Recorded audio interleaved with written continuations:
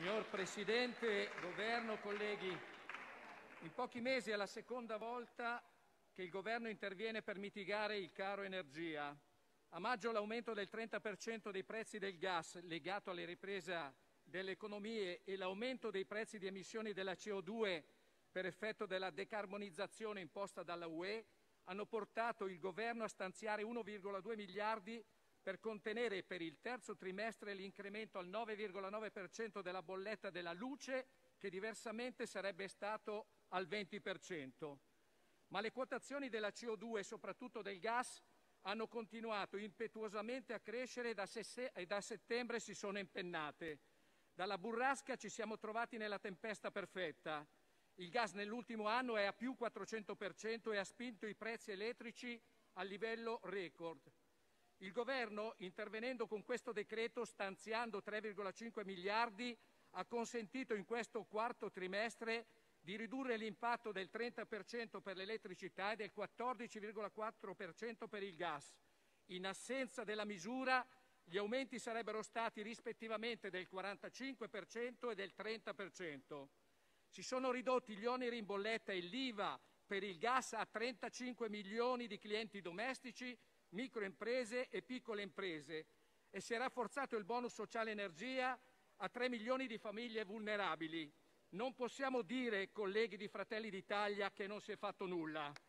Quella dell'Esecutivo è stata un'operazione straordinaria, assolutamente necessaria, ma che purtroppo non ha evitato la batosta del caro bollette a molti, per esempio agli utenti del teleriscaldamento e a quelli del gas naturale per autotrazione, per il quale non è stata riconosciuta l'IVA agevolata al 5 Oltre ai mezzi pesanti, stiamo parlando di un milione di auto metano che oggi rispetto ad un anno fa pagano il combustibile il 70 in più. Sono in ginocchio loro e l'intera filiera. Sono in difficoltà i sindaci per i bilanci del proprio comune e in generale tutte le pubbliche amministrazioni, inclusi gli ospedali. Sono in difficoltà le medie e grandi imprese e quelle energivore del gas. Pensate, Alcune imprese hanno aperto linee di credito con le banche per pagare le bollette. Penso all'accordo fatto da Confindustria Lecco e Sondrio. Altre imprese, nonostante siano piene di ordini, stanno rallentando la produzione e talune si sono fermate perché produrre è diventato troppo costoso, come deciso da otto fornaci del distretto del vetro di Murano. Insomma, sono a rischio tanti posti di lavoro e ci saranno problemi sociali. Ecco, a queste realtà in crisi la Lega ha cercato di dare risposte con emendamenti, ma il Governo, rinnovando l'impegno ad intervenire anche con la manovra, in fase di conversione del decreto non ha previsto risorse aggiuntive e tutti gli emendamenti onerosi sono stati purtroppo respinti, ma noi li ripresenteremo in manovra. Il fenomeno del caro energia non è ovviamente solo italiano, ha dimensione internazionale, ma l'Italia soffre molto di più perché paga inefficienze mai risolte e scelte discutibili fatte in passato, come il conto energia che ha sostenuto gli impianti rinnovabili, dove sono state aumentate le speculazioni, sono aumentati gli oneri di sistema e non si è creata una filiera nel nostro Paese. I pesanti aumenti indeboliscono la competitività delle nostre imprese e colpiscono le famiglie, magari non tutte direttamente in bolletta grazie all'intervento governativo, ma indirettamente sì, per gli inevitabili aumenti dei prezzi dei beni di consumo legati agli aumenti dei costi di produzione. I rischi che venga frenata la ripartenza post pandemia e che parta l'inflazione sono altissimi. La situazione è sempre più grave e sempre meno congiunturale e rischia di, di essere strutturale. Cerco di dimostrarvelo. In questo primo grafico sono riportati i prezzi medi giornalieri dell'energia elettrica in Europa nel mese di settembre. Più scuro è il colore, più alto è il prezzo dell'energia. Due rilievi. L'Italia ha il triste primato del prezzo più alto. Noi eravamo a 159 euro a megawattora, la Francia a 135, meno 15%, e la Germania a 128, meno 20%. Segnalo che nel 2019 il prezzo era da noi 52 euro, cioè un terzo. Evidenzio che proprio con questi prezzi, quelli di settembre, il Governo ha stanziato 3,5 miliardi per ridurre gli aumenti in bolletta. In questo secondo grafico Notate invece i prezzi del mese scorso, ottobre. I colori sono più scuri e questo deve far preoccupare.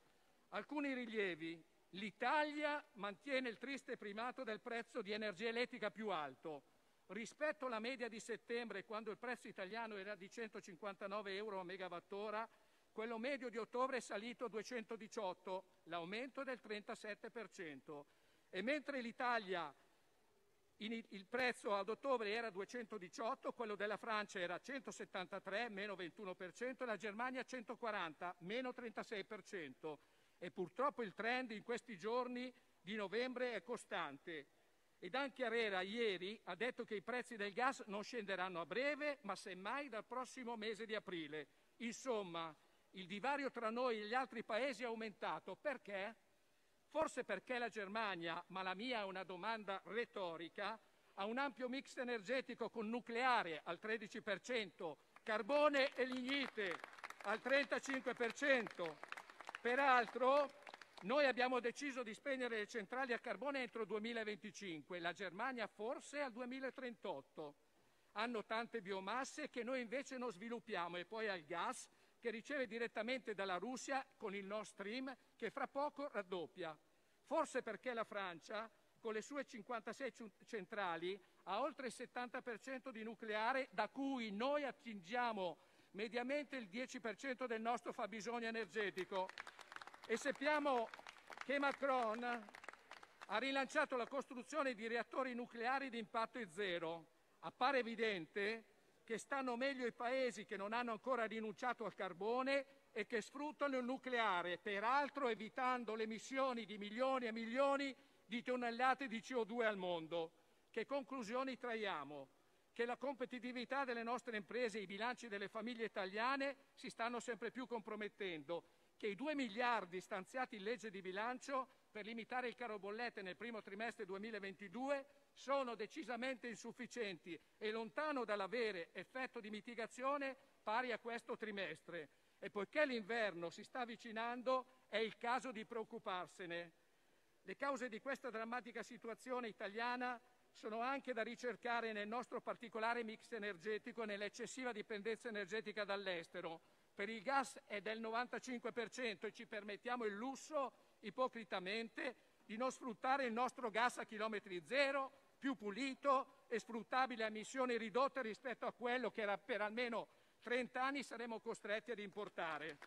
Cosa fare dunque? Ripeto, nell'immediato serve un'iniezione molto maggiore di 2 miliardi e allargare la platea dei beneficiari. E poi bisogna intervenire strutturalmente e ripensare alla politica energetica del Paese. L'Italia non può aspettare l'Europa che dopo l'ubriacatura del solo rinnovabile e solo idrogeno verde, purtroppo è divisa su come affrontare il caro energia e forse solo a dicembre deciderà qualcosa. E la nostra ricetta non può essere quella dei colleghi del Movimento 5 Stelle che spingono solo su fotovoltaico e eolico. E a proposito, le comunità energetiche non sono solo affare vostro, abbiamo contribuito anche noi come Lega a introdurle. Bravo, anche bravo. se i sistemi di accumulo saranno sviluppati tecnologicamente, non si risolve il problema della loro non programmabilità. Vedete, il problema di queste rinnovabili non si manifesta nei costi bassi di produzione dell'energia elettrica, ma nei costi altissimi della non produzione, non solo quando non c'è il sole o il vento, ma soprattutto in inverno. E con le sole rinnovabili non si può rispondere alla domanda di energia crescente. Occorre dunque tornare ad investire con biomasse, geotermia e idroelettrico del flusso ecologico permettendo. Occorre, ed è ormai indifferibile, abbattere strutturalmente gli oneri di sistema che pesano 15 miliardi e spostarli nella fiscalità generale. Occorre, e sono stato l'oggetto di diversi ordini del giorno della Lega approvati, incrementare l'efficacia del servizio di interrompibilità per le imprese energivore del gas, fondamentale con l'inverno alle porte, e poi agire in sede comunitaria per definire un regolamento che stabilisca regole comuni per gestire in sicurezza gli approvvigionamenti del gas e gli stoccaggi e agire nel pacchetto sulla finanza sostenibile della tassonomia per inserire il ruolo di accompagnamento strategico del gas naturale nella transizione ecologica, sia ai fini del contenimento dei costi dell'energia, sia per garantire stabilità, sicurezza e resilienza del sistema energetico. e colleghi del 5 Stelle, avete votato anche voi il nostro emendamento che chiede di inserire il gas nella, nella tassonomia, l'ordine del giorno 2.6. Occorre infine assumersi la responsabilità per sfruttare il nostro gas naturale per ridurre la nostra dipendenza energetica, investire per diversificare le fonti di approvvigionamento, decarbonizzare, sì con nuovi alberi, caro collega Anastasi, ma anche con la cattura e lo stoccaggio della CO2 e non chiudersi allo sviluppo e alla ricerca del nucleare di quarta generazione. Occorre in sintesi abbandonare l'ambientalismo ideologico anti-impresa e procedere con l'approccio pragmatico assicurare la sostenibilità ambientale, economica e sociale, nonché garantire la neutralità tecnologica perché tutte le tecnologie che contribuiscono a decarbonizzare devono essere impiegate. La Lega, Salvini Premier, Staz voterà a favore di questo provvedimento. Grazie.